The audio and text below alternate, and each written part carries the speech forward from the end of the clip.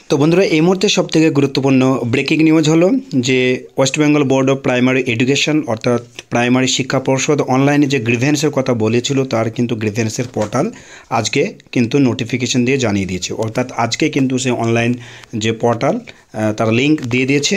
তোমরা দেখতে পাচ্ছ যে এখানে ফার্স্ট যে নোটিস নোটিফিকেশানটা দিয়েছে, এটা কিন্তু গ্রিভেন্সের নোটিফিকেশান এবং ঠিক তার নিচে দেখো একটা লিঙ্ক দেওয়া রয়েছে। এই লিঙ্কে তোমরা ক্লিক করলে তোমাদের যে নয় ডিজিট যে রোল নাম্বার রয়েছে টেটের, দু হাজার চোদ্দ সেই টেটের যে রোল নাম্বার দিয়ে তোমরা কিন্তু এখানে পুট করতে পারবে, তোমরা অনলাইনে গ্রিভেন্সটা কি মানে করতে পারবে। তো আমরা দেখে নেব এই নোটিফিকেশনে কি বলা রয়েছে। কারা নোটিফিকেশানের অনুযায়ী কারা গ্রিভেন্স অংশগ্রহণ করতে পারবে কী কী ডকুমেন্টস আপলোড করতে পারবে, কোনো ডকুমেন্টস আপলোড করতে না পারলে তার কী হবে ডিটেলসে কিন্তু এই নোটিশে প্রকাশ করা হয়েছে। অতএব বন্ধুরা, তোমরা ভিডিওটি স্কিপ করবে না। পরপর দেখবে এবং এই চ্যানেল নতুন হয়ে থাকলে অবশ্যই চ্যানেলটিকে সাবস্ক্রাইব করে নোটিফিকেশান পাওয়ার জন্য বেল আইকনটা অবশ্যই অন করে রাখবে। ফার্স্ট আমি এখানে নোটিফিকেশানে ক্লিক করলাম। ক্লিক করার পর ডাউনলোড যেহেতু আমার আগে হয়ে গিয়েছে, তবুও আমি ডাউনলোড করছি। তোমরা কিন্তু এটা জাস্ট একবার দেখে নাও। দেখো, আজকে কিন্তু এই লিস্টটা কিন্তু এই নোটিফিকেশানটা প্রকাশিত হয়েছে। এবং এখানে বলা আছে, দেখো, যে opening a dedicated portal for the writ petitioners in the কমপ্লা in compliance with the orders of the honourable justice Amrita Singh of honourable Calcutta high court যেটা এর আগে পাস করেছিল। জাস্ট এটা আমি এতটা পরে তোমাদের সময় নষ্ট করছি না।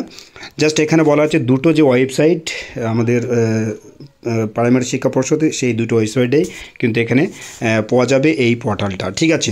এবং এখানে অনলাইন সাবমিশন ডিটেলস কিন্তু এখানে বলা রয়েছে। হ্যাঁ এগুলো তোমাদের একটু জানা দরকার যে আমরা জানি কি এটা সাতশো আটত্রিশ যে ভ্যাকান্সি তার বিরুদ্ধে কিন্তু এই অনলাইন পোর্টালটা খোলা। তো এখানে কি কি চাওয়া হয়েছে আমরা জাস্ট এখানে দেখে নেব। List of the prescribed documents অর্থাৎ এই যে পাঁচটা ডকুমেন্টস রয়েছে, এই পাঁচটা ডকুমেন্টস কিন্তু তোমাদেরকে মাস্ট সাবমিট করতে হবে ওই নয় ডিজিট রোল নাম্বার দেওয়ার পরে। অবশ্যই স্ক্যান কপি এখানে বলে দিয়েছে, কী কী করতে হবে দেখো। ফার্স্টে যেটা বলা হয়েছে one scan copy of the front page only one page যে ফ্রন্ট পেজ কিসের? Of the writ petition where the applicant is a petitioner অর্থাৎ তুমি যে পিটিশনার হিসাবে রয়েছো, তুমি যে রিট পিটিশনার তার যে প্রমাণ হিসাবে ফার্স্ট যে ওয়ান যে স্ক্যান কপিটা ফ্রন্ট পেজটা যাতে তোমার নাম রয়েছে, সেটা কিন্তু আপলোড করতে হবে। নাম্বার টু বলা দেখো যে front page only of the orders of honourable justice Rajashree Bhardwaj and honourable justice Soumen Sen and honourable justice Saugata Bhattacharya of Calcutta high court one page অর্থাৎ এই যে তোমার অনারেবল জাস্টিসদের নাম বলা হলো ওনারা যে পেজটা যে অর্ডার কপিটা দিয়েছিলেন মানে তোমাদের যে ওই রিট পিটিশনার যখন তোমরা হয়েছিলে বা তোমরা যখন অফলাইনে অ্যাপ্লিকেশন করেছিলে, সেই অর্ডার কপির যে ফ্রন্ট পেজটা কিন্তু সেটাও স্ক্যান করে আপলোড করতে হবে। নাম্বার টু যেটা থ্রি যেটা হচ্ছে scan copy of the proof of submission of offline application to the board within the stipulated time one page only অর্থাৎ যারা অফলাইনে পর্ষদের যে ওয়েব মানে যেটা ঠিকানায়, সেখানে যারা অ্যাপ্লিকেশন জমা দিয়েছিল এবং সেখানে যে রিসিভ কপি বা তোমাদেরকে যে একটা রিসিভ কপি দেওয়া হয়েছিল বা যে স্টেপলেট তোমাদের যে যেটা দেওয়া হয়েছিল এক কথা ওখান থেকে, সেইটাই কিন্তু যে ফ্রন্ট পেজটাও সেটাও স্ক্যান করে তোমাদেরকে আপলোড করতে হবে। নাম্বার ফোর যেটা হয়েছে দেখো যে টেট অ্যাডমিট অর্থাৎ যে দু হাজার যে টেট অ্যাডমিট কার্ড এটাও স্ক্যান করে দিতে হবে এবং পাঁচ নম্বর বলা আছে যে scan copy of the OMR if available অর্থাৎ ওএমআর সিট যারা পেয়েছ বা যারা এটা অবশ্যই তোমরাই জানো, যারা অনলাইনে করেছিলে।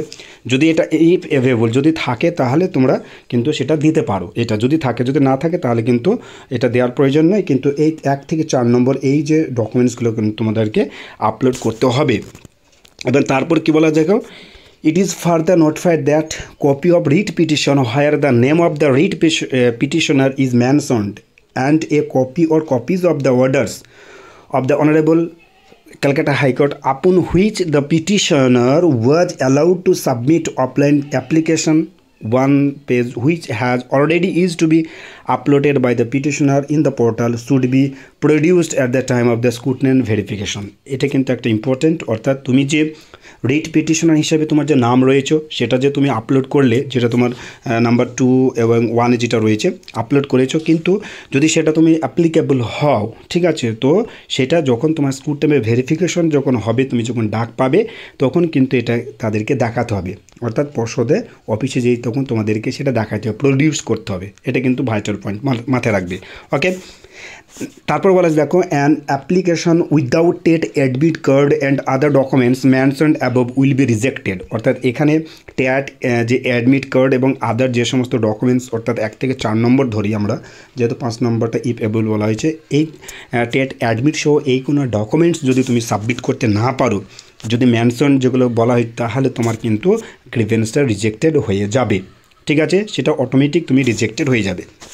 তারপর বলে দেখো it is also notified that any writ petitioner who is in possession of the aforementioned four documents one থেকে চার, অর্থাৎ এখানে যে চারটে ডকুমেন্টস কথা বলা হচ্ছে ওয়াইএমআর সিট বাদ দিয়ে with a copy of OMR if available যদি ওয়াইএমআর থাকে হ্যাঁ but could not submit online application earlier যদি এর আগে বা তোমরা যদি এটা না অ্যাপ্লিকেশনটা সাবমিট করতে না পারো will be allowed to submit offline application with copies of the aforementioned documents to the undersigned in her office during working hours and from three one দু হাজার বাইশ থেকে পাঁচ দু হাজার বাইশ পাঁচ এক অর্থাৎ যদি কোনো কারণে কোনো কারণে তুমি চারটে যে ডকুমেন্টসের কথা বলা হয়েছে, সেটা যদি তুমি অনলাইনে সাবমিট করতে না পারো, তাহলে সমস্ত কিছু নিয়ে, অর্থাৎ তোমাদের যে ওই যে চারটে ডকুমেন্টস সহ সমস্ত কিছু নিয়ে একটা অফলাইন অ্যাপ্লিকেশন করে, সেটা অফলাইনে তোমরা পর্ষদের যে